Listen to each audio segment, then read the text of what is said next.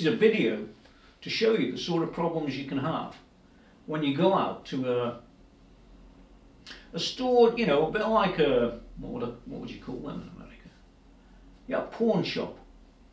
Well, they don't call them quite the same thing in England, but I bought things from them off and on a few times. You know, like uh, iPads and different bits and pieces. And I always look at the music section, and they got this uh, Dunlop Crybaby in there 29 quids, or quid, or pounds. That's about uh, 35 or 36 dollars if you get the get the the drift. And I thought for 36 dollars I'll buy it and I'll give it to my grandson. Why not? He bought that flat Flatway one, didn't he? For his 250, well, my wife did. 250 quid or something, I don't know. Anyway, you know, for each 36 or 37 dollars or whatever it is, it'll be better, in my opinion, than the Flatway. So I decided to get it. So I bought it, I bought it home and I plugged it in. I put a brand new battery in it, plugged it in, and uh, this is a story that you need to heed. And when I plugged it in, uh, yeah, the guitar volume was really low, you know, with the wah turned off. I mean, really. If I leave the wah out of the equation, the amp was blaring at me. Think about this. Always try and check a product if you can before you buy it. I couldn't because they didn't have the equipment for me to check it. So I bought it on the basis of, well, I bought other stuff from here, it must be okay. And it wasn't. This is the Crybaby pedal I bought. Yeah, not bad condition considering, a few scratches and things. But what we're going to do today isn't to carry on arguing with these idiots who say there's no fault. There is a fault. What we're going to do is drink my beer. Yeah, pretty out of sight. It's unprofessional. oh my god. I decided in my wisdom to turn it into a monster. Like the message, you know. A real, ha, get at you. Yeah. Oh, where'd that come from? Yeah. So I went on to my friendly eBay Actually, some people are fine on there. It's just a few percent that aren't. yeah, I went on to my friendly eBay and found a company that was selling these uh, these bits here. Actually, he wasn't selling them two bits. He was selling one, two, three, four bits. Yeah, there they are in the little packets. I ordered them. What do they do? Well, this is what they do true bypass. Clyde McCoy Crybaby mod. Got one of these. The two Jimi switch. And lastly, an on and off LED. Well, all of those various things there help the pedal and they help the pedal to be something different than it is at the moment. And the, the Jimi mod, by the way, down in here is what the guy that used to do Jimi's pedals said he did to it. Can't argue with that. And it's switchable in and out and all that sort of stuff. So what we're going to do today with this junky pedal is we're going to rip all the guts out we're going to fit all of these. Oh, and by the way, the actual fault on, on this, not according to their professionals, but according to me, was actually, it, it's got one of these that's faulty, one of the input or output. So I had to buy two of them from Dunlop, and those were about five quid a throw, I think, or seven and a half dollars each. So those cost money. But the rest of it, I think, cost me about $20. It wasn't really expensive, and you could choose any one of those mods. I chose the lot because I wanted to take this really cheap pedal and turn it into the monster that I've already said we're going to do. That's exactly what we're going to do. So if you've got one of these pedals, search for GMR spares. And by the way, I bought everything. Nothing, but nothing is free to me.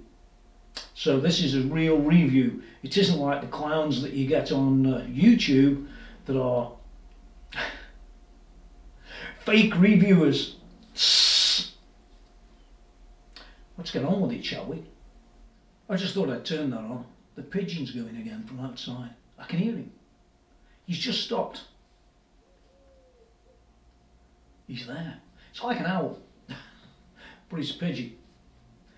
Anyway, do understand that while we're doing this, that it's arguing again.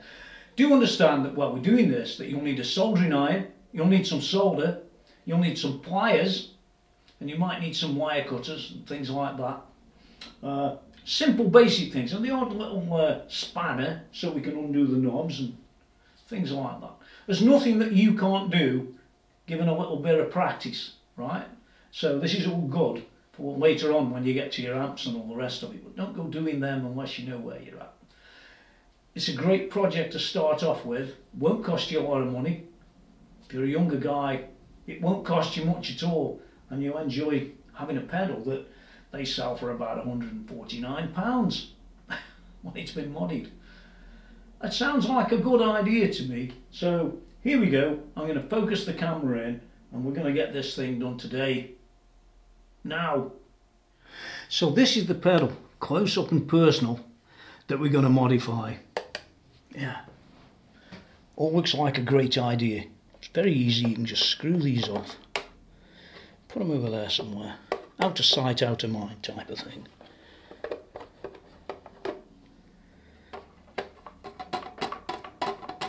And there we go. And don't forget it's a GCB 95. There it is. Just as you'd expect. Looks like 1515. It's probably week 15 of 2015. Yeah, probably is. Yeah, doesn't tell me much else anywhere else. So let's assume it's that. So that's the uh, the unit, crap battery. Don't worry. So what we're going to do is we're going to take this board out. We're going to disconnect this, take these two out here, and we're going to be taking that off as well. And we're going to be taking all the wires off. So it should all be exciting for you. But don't worry, you will end up with a pedal that works. Just follow these instructions and it's all good, right? So I'm going to start off by undoing that and undoing that, disconnecting this battery. Yeah, disconnecting that, and then we'll pull this uh, circuit out here. Now let's go from there. And this is the tool you need. No, not me. This is the tool you need. It's a 11 mil 11 millimeter. I'm afraid I've only got it as what it says on there. It's 11 millimeter, and you just put it on and unscrew it. Let's go do that. Of course, you also need a screwdriver to undo the screw. Sounds fun. And then the board will just simply pull out. That easy. I'll leave the other bits there for now, because we want to do some work on this thing, right? Well, there's the board out of the uh, GCB 95. And we've got some of these components to change over. But I wouldn't kill yourself do you know about that. It's easy enough. And I'm going to be changing these two out on mine, but you won't need to change those two on yours. We've got over there on the uh, the pedal itself, we've got a few mods to do on that. But we're going to do those a bit later when we've got this board sorted out.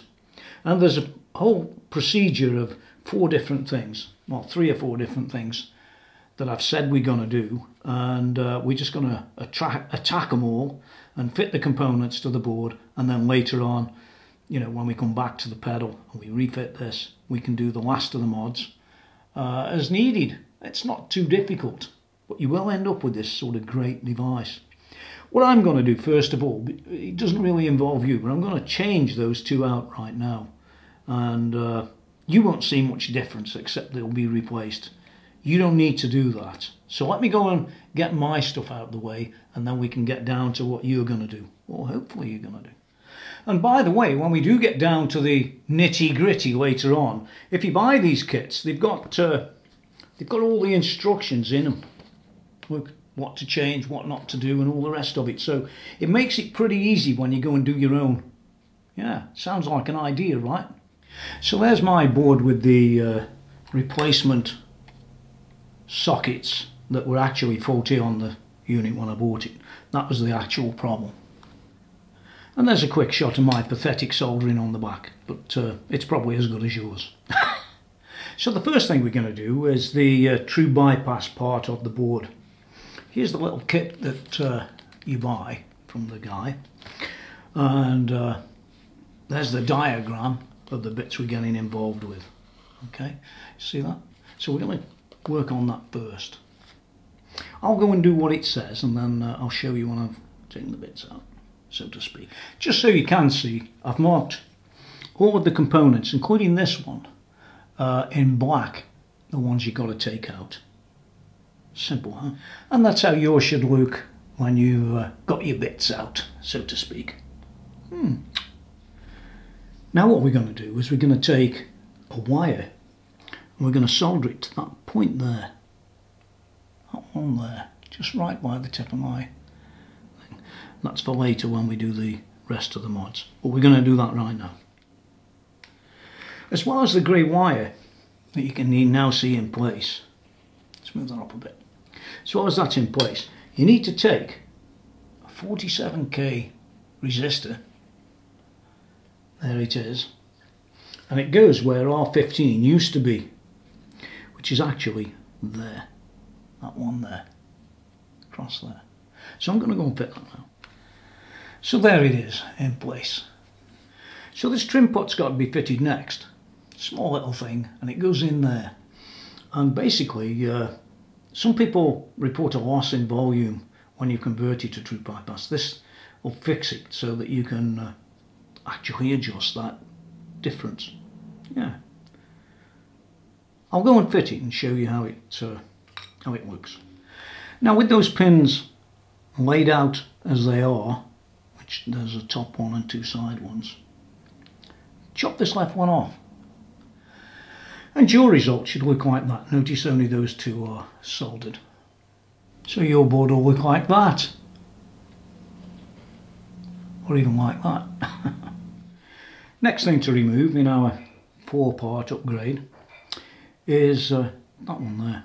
That's a 330 ohm resistor and it's connected to the emitter of Q1. That's Q1 not marked, but don't worry about that. That's the one that's got to come out. Okay, so we'll take that one out now and uh, carry on. Actually, as well as that, we need to remove that one there. Right there. So we're going to take that one out and we're going to take this one out. Your board should now look like that, that we've removed this one and we've removed that one. Okay. Now we're going to remove Q1, this one. Now we'll remove Q2. Now you can see that I fitted this one here. I fitted that one up there. The one there is a 100k. And the one uh, down the bottom, 470k. There. Now scarily you've got to refit these two transistors but you have to do the uh, legs in a bit of a funny way. A transistor comes like this with three legs. One here, one here and the one splayed backwards away from that little link. How it has to end up isn't like that. It has to be like this.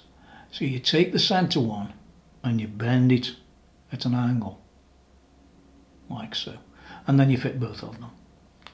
Yours should look something like that. Next, this is the, uh, the Jimi mod actually. If you look at that capacitor there, just behind the right hand side uh, transistor, we're going to remove that. Later these two wires will be twisted together and go off to a uh, switch. And that's how your PCB should look.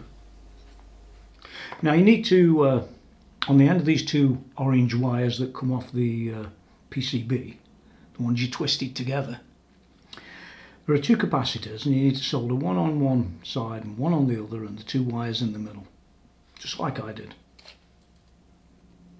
Okay,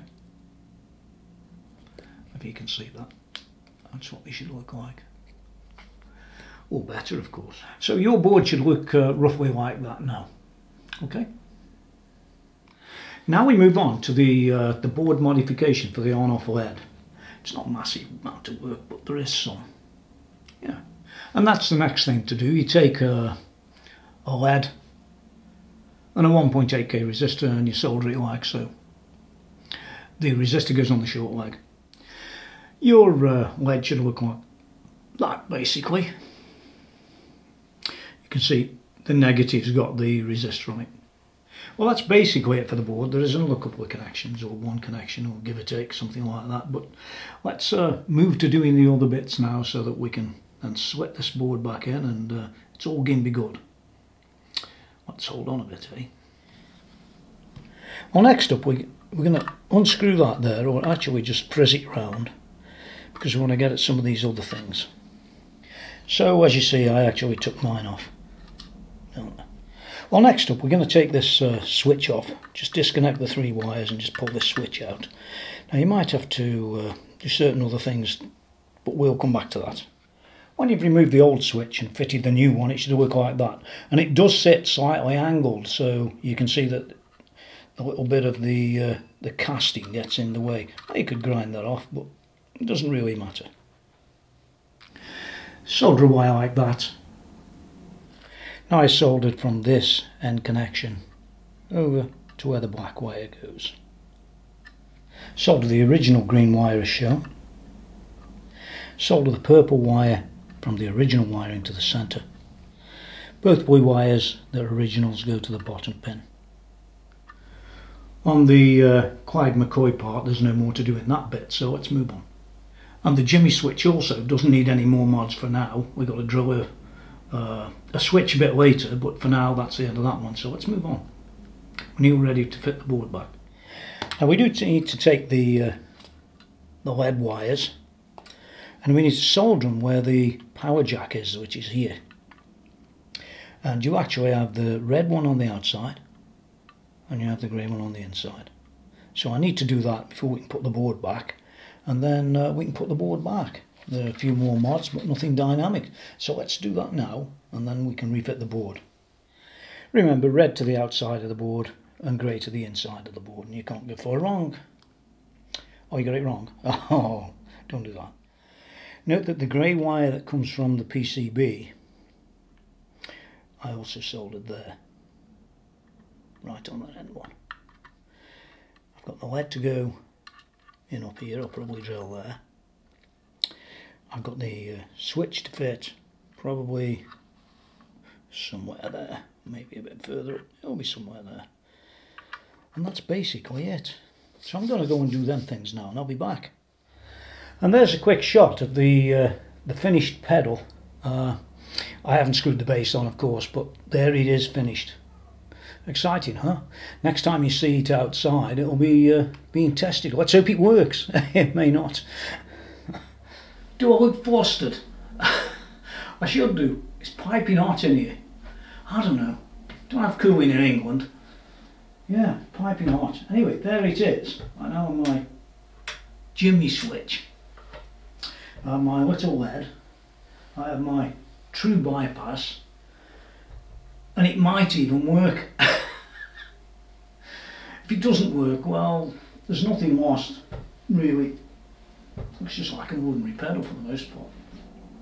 When you see that little lead, you'll probably see a picture of the lead up there, and uh, also maybe a picture of this little Jimi switch. And by the way, yeah, I did do the tablecloth in while I was doing it. Be warned, they're watching. She came in. Hmm. Anyway, there it is. You're going to hear it outside in a minute. If it doesn't work, you won't hear it outside. How easy is it to do, uh, that conversion? Well, if you've got a, a Duff one like this, which was Duff on the two uh, connectors, or at least on one of them, then it's not too bad a job. You're not losing much. But if you spend a hundred quid on one, 95 pounds or 149 I don't know how much they are these days. Uh, if you spend a bit of money on well you won't be careful if you don't know what you're doing and stuff like that. I mean the, the instructions for them guys G M R spares are actually pretty good. Uh, it can only be you that can get it wrong. So it's worth doing. Assuming everything works, I'd give it about a 7 out of 10. Nothing wrong with the components and the, the instructions were fine. But I don't know how many people would actually go and uh, do this. I would. I love molar pedals. But how many would do it? Well, I can tell you this, if you bought one of them flatweight pedals at 249 squids, or pounds, you definitely do this instead. Uh, or at least I would. Uh, wait until Levi sees it. My grandson. Oh my God. I've got to have one. I can hear him now. So, 7 out of 10. It's going to be played any second now. Uh, don't forget to go to www.tonymckenzie.com and all this stuff I've been doing recently, I've been making photographs of it as we go. Uh, so I've got lots of stuff to uh, do on the internet when I get to it. God, it's hot in here. so that's it for now. Watch the video for the noises. If it doesn't play, at least I tried. And if he doesn't play, I'll show you the fail. I, I, couldn't be bothered to go back and have another go. Yeah, I'm usually alright, but you never know. Till next time, hope it was interesting, and I hope you have a go at doing yours. You know where I get your spares from. Go from there. Now get out of here. I just wanted to show you uh, the sort of tones that you can get out of it. So it's true bypass now, so if you listen to the guitar, it's like it was never in circuit. And this is the sort of tone you'd get. I'm using, uh, by the way, the Tremonti amp in the lead channel. It's on about 50% gain, so you can imagine how much gain can be on that thing. And, uh, yeah, pretty cool guitar. RG 550 limited, and it has some uh, Seymours in there. They just sound great. Yeah. Well, actually, there's a DiMarzio and a Seymour, and that's a Seymour.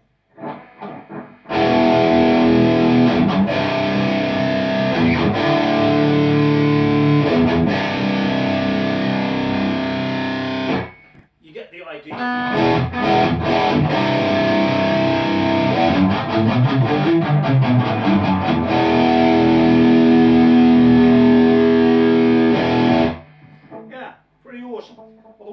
Down there, it's set up in one of the two modes. I think it's probably the uh, the Jimi mode at the minute, or not. Indeed, uh, it might be the standard mode. Anyway, it's in bypass. You can, uh, you've heard it just in bypass. Well, I kick it in. Uh, You're always going to get that.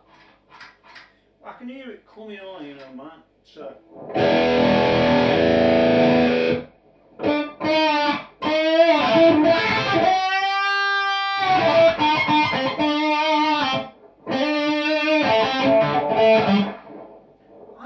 Sounds good no matter what.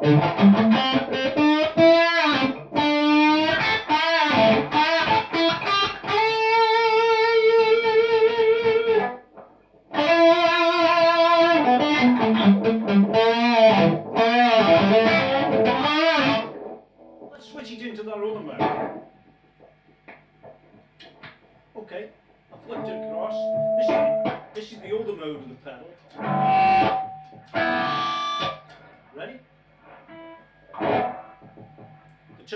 tone without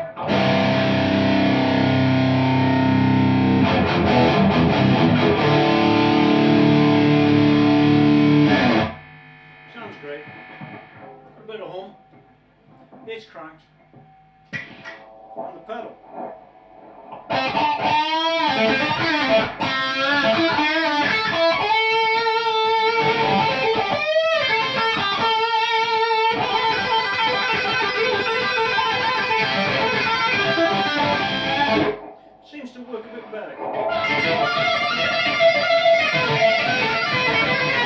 Well, of the two modes, I think the one that's there now, I can't tell which one, is the one I tend to use. So the other one sort of doesn't quite drive enough. But I do know that inside, if you remember, we've got that little uh, that little adjuster where we could maybe push to drive a little bit harder. And I think maybe that's what's needed on the other mode. Yeah. But overall, a pretty fair update, uh, an improvement to a pedal that didn't work, remember, and uh, what more can you say? Yeah. You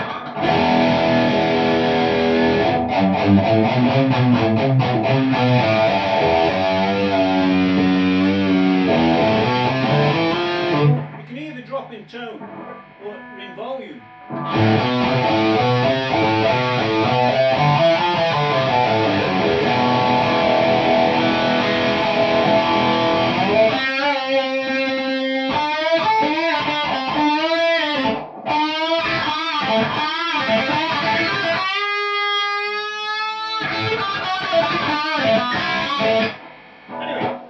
So there you have it, the uh, modified GCB 95 Crybaby cost me 29 quid and I think 20 pounds for the mods. What do you want for your money? Remember it didn't work when I bought it so big improvement, yeah, all good. It'll go in my collection of 10 wahs down there, but honestly they're all different. Uh, yeah, so I can recommend uh, these mods from the company I bought them from and uh, I'll put something up in a few seconds about that so you have an idea where I got them from and uh, go and ask him if you want any. Remember there's four separate mods and you can do each one of them or all of them. I just decided to do the what while I'd got it all in bits because it didn't work anyway. Hope you liked it. Till next time. Get out of here. And no, I didn't plug it in all through the system because it's just a little bit of a wah, you know. So what? Of course, the future stuff will be uh, getting plugged in. Yeah. So until next time, get out of here.